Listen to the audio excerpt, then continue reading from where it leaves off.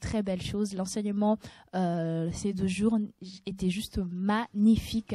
Le Seigneur a fait quelque chose d'extraordinaire. Le Seigneur a, ouvert nos esprits. Le Seigneur a, alimenté euh, qui nous sommes en tout cas sur sa personne et, nous glorifions vraiment le Seigneur et on va poursuivre justement les interviews avec euh, avec euh, une sœur qui va nous partager euh, son témoignage et on bénit vraiment le Seigneur pour cela. Bonsoir ma sœur. Bonsoir. Alors vous nous venez d'où comme ça? De Rouen. D'accord, vous vous appelez comment? Abigail. Abigail, vous êtes venue exprès pour euh, la formation de, de, de, de Didasco euh, sur la divinité de Jésus-Christ? Oui. Ah d'accord, donc vous avez fait combien de kilomètres à peu près? Vous avez fait combien de kilomètres à peu près? Kilomètres, je sais pas, mais on a mis deux heures à peu près. Ah, vous avez mis deux heures. Alors, qu'est-ce que vous avez à dire euh, face à un tel message La divinité de Jésus-Christ. Vous êtes là Hein oui. D'accord. Qu'est-ce que vous avez à dire face à la divinité de Jésus-Christ Disons pour ma part, euh, je croyais euh, connaître. C'est vrai que je connaissais un petit peu que Jésus, il est Père lui-même, mais ça m'a dépassé parce que je connaissais pas vraiment en vérité, dans le sens que c'est la première fois que j'entends un enseignement comme ça et ça m'a ça m'a bousculé dans mon être. Et comme ça m'a bousculé, ça m'a je sens encore combien ça brûle au dodo de moi.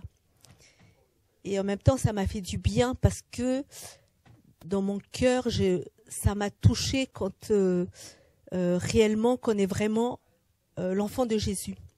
Ça, ça m'a bouleversée dans le sens que je me dis, mais je suis vraiment l'enfant de Jésus. Parce que c'est vrai, c'est la première fois que j'entends cet enseignement-là. Euh, j'ai jamais entendu depuis ma conversion de des années des années jusqu'à maintenant. Sincèrement, c'est la première fois que j'entends cet enseignement que euh, Shora nous a donné de la part de la parole de Dieu lui-même par Jésus. Vous n'avez pas eu de difficulté à, réaliser parce que euh, à, à, vous dire oh, je suis enfant de Jésus, aucune difficulté, c'est tout de suite rentré, tout de suite c'est resté. Vous avez prononcé ce, ce, cette phrase. Dis, disons que je savais déjà que j'étais enfant de Dieu en ma conversion, hein. j'étais oui. convaincue par l'esprit de Dieu, mais là c'est encore plus fort parce que c'est le Père. Amen. Voilà, c'est encore plus fort parce que c'est Jésus lui-même. Avant, j'étais dans la confusion parce qu'il y a Dieu le Père, il disait euh, Dieu le Fils alors que c'est faux et, et je savais qu'il n'y avait qu'un seul Dieu. Mais comme il y a eu des fausses doctrines avant, dans mon être, il y a encore des choses qui est restées et que je crois vraiment que ça va tomber. Amen. Et ça, c'est très très fort quand Jésus lui-même il est le, le véritable Père. C'est encore plus clair dans mon esprit. Amen. En tout cas, vous êtes éclairé. Et si vous auriez un mot à dire euh, aux frères et sœurs qui nous regardent chez eux, qui sont encore en train de, de se poser des questions, est-ce que c'est, qui sont encore en train de tâtonner dans leur esprit, quelle est, quelle est cette phrase, quel est cette, ce mot que vous leur direz?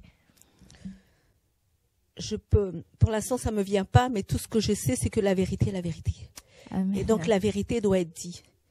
Et quand j'aurai bien encore saisi, c'est là que je parlerai de la vérité de ce que j'ai entendu aujourd'hui.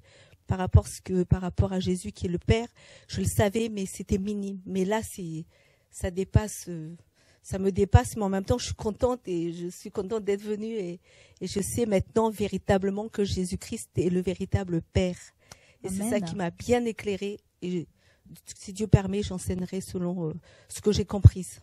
D'accord, vous partagerez avec ah oui, euh, c'est obligé. les gens. C'est obligé de toute façon, parce que c'est que la vérité qui a franchi, et c'est la vérité, parce que Jésus a dit la vérité nous a franchi.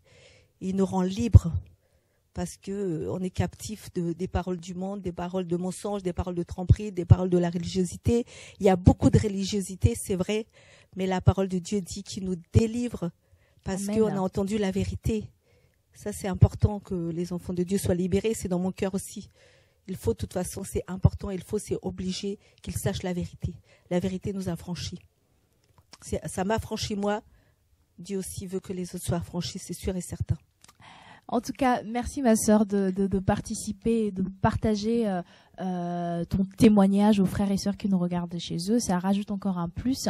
Et euh, on se dit à la prochaine formation probablement. Ouais, si l'opportunité, ouais. voilà, si l'opportunité est offerte, en tout cas, Voilà. Dieu par sa grâce le permet.